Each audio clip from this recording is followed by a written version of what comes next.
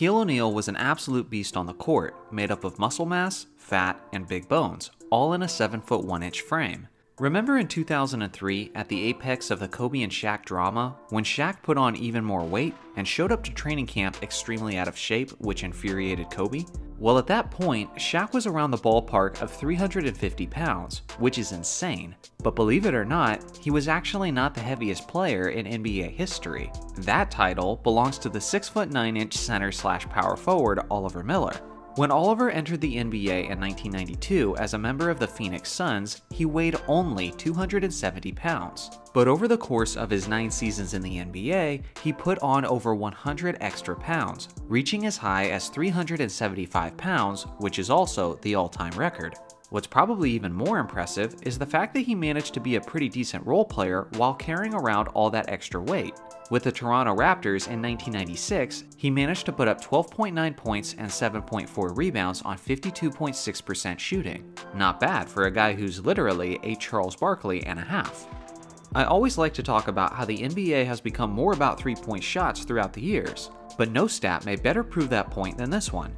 40 years ago, it was the 1980 to 81 season, and that year, the San Diego Clippers led all teams that season in three pointers made with a total of 132, and that was a full 82 game season. This current NBA, which is only a 72 game season, 49 individual players made more three pointers in a short season than the league leading San Diego Clippers did in a full season in 1981. Tim Grover is the famous physical trainer of both Michael Jordan and then Kobe Bryant, and he had a very personal relationship with both athletes. In a recent interview, Grover was talking about Kobe Bryant, and he said that in some instances, the two would go out to dinner together, but Kobe would reserve seats for four people, not just two. The first time Kobe did this, Grover was confused and didn't understand why he reserved the extra seats. Occasionally, familiar faces would greet Kobe and Grover at their table, but when they would want to sit, Kobe would always tell them that those seats were taken. Eventually, Grover point blank asked Kobe who those seats belonged to, and in summary, he said, Wherever I go, they go. I bring everything and all of me with me, and those seats are for those individuals because they make me who I am. Grover explains that in Kobe's mind, these were the seats of his alter egos. Yes, Kobe took his alter egos to dinner with him and occasionally ordered drinks for all of them, and Kobe would make sure to drink all three drinks before he left. So if you ever hear someone describe the Mamba as different, yeah, he was really, really different.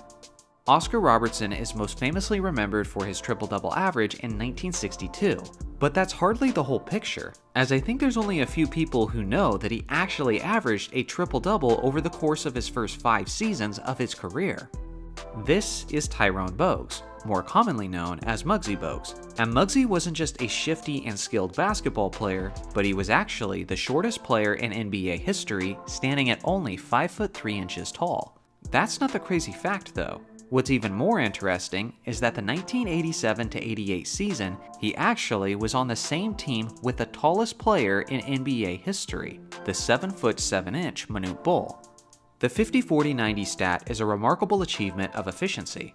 A 50 40 90 season is when a player shoots at least 50% from the field, 40% from three point range, and 90% from the free throw line over the course of a season. Only 9 players in NBA history have achieved this feat, and these are the 9 players on this list. Now, accomplishing this is very rare and impressive, but another level entirely is what Larry Bird did. From the 1984 to 85 season through the 1987 to 88 season, Larry shot 51.7% from the field, 41.4% from three point range, and 90.1% from the free throw line. That means Larry Legend doesn't just have a 50 40 90 season on his resume, but he has a four season stretch of 50 40 90 percentages. During that stretch, he averaged 28.1 points per game. Other than the great Steph Curry and Kevin Durant, no player has ever scored that many points per game in a single season while putting up 50 40 90 percentages. And again, Larry did that over a four year stretch. When it comes to being the pinnacle of scoring efficiency, it may not get any higher than Larry Bird.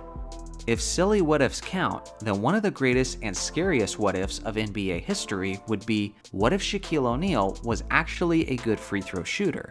It's incredible how much this man dominated on a nightly basis without making his free throws. Take the 2000 NBA Finals for example, which is arguably the most dominant final series from a single player of all time.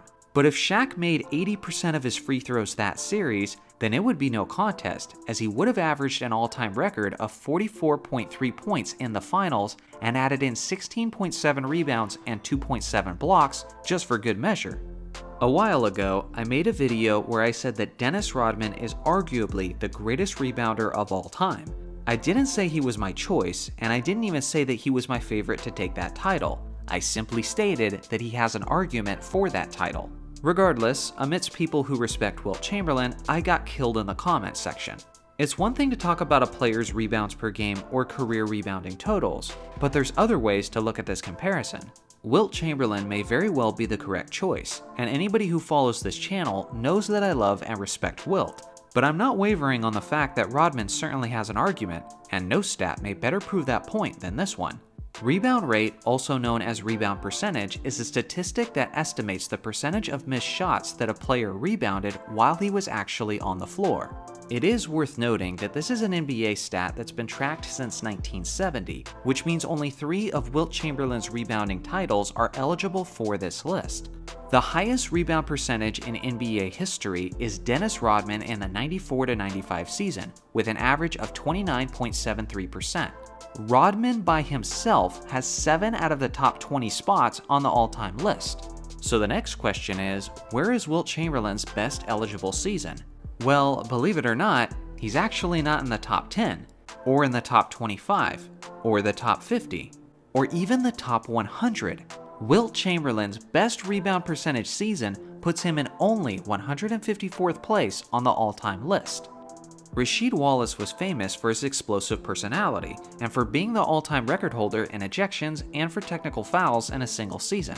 But he was also a really great player, and his greatest team accomplishment came in 2004 as his Detroit Pistons defeated the Los Angeles Lakers in five games to win the NBA championship. He then did the most Rasheed Wallace thing that he could possibly do and had his championship ring designed to fit his middle finger. That way, he could show it off while also simultaneously giving people the bird. This might be the dumbest, most random, biggest stretch of a stat that I've ever shared in any of these videos, but regardless, I think it's interesting enough to share. Tom Brady is the best player in his sport, and he is currently 43 years old. LeBron James is the best player in his sport, and he is currently 36 years old. Now, the thing about Brady is between the time he was 36 and now 43, his performance hasn't dropped off at all. In fact, if you compare his season at the age of 36 to his season at the age of 43, he actually has more touchdowns, more yards, a better completion percentage, and a better touchdown to interception ratio at the age of 43. So, at the very least, he's maintained his level of play. So, this brings us back to LeBron. If LeBron can maintain this level of play at only 45 games a season until he's 43 years old, just like Tom Brady, then LeBron would end his career with 43,249 points, which is easily the most in NBA history. He would have 12,173 rebounds, which would put him just outside the top 20 on the all time list, and he would have 12,146 assists, which would make him second on the all time assists list only behind John Stockton. Theoretically, that's a pretty crazy resume to say the least. If you're ever cut from your high school basketball team, just remember, so was Michael Jordan, and he turned out to have a pretty incredible career. But what if you're cut from your basketball team twice?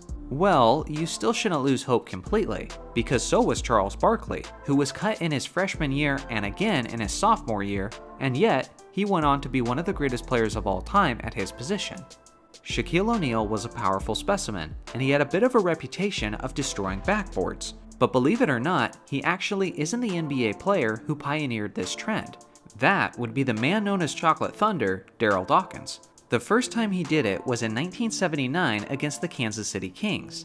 It seems like a cool thing now, and fans certainly loved it at the time, but Dawkins caught a lot of heat for it, as it took nearly an hour and a half to clean up the court and replace the basket so that they could resume play. This took place in Kansas City, though, and Dawkins recalled several 76ers fans telling him that he needed to do it again for the home crowd. So, just three weeks later in Philadelphia, Dawkins did it again, and later admitted that he was trying to break the backboard the second time. The NBA commissioner at the time was Larry O'Brien, and he called Dawkins that evening and told him to be in his office the following day. There, he told Dawkins that he would fine him $5,000 for each time he broke the backboard from that point on. As a result, that was the last time Dawkins ever broke the backboard. Which one of these facts do you think was the most interesting? And as always, do you have any new facts to share with the rest of us? Let me know in the comment section below. Thanks for watching as always, make sure to like and subscribe for more basketball content, and I'll see you guys in the next video.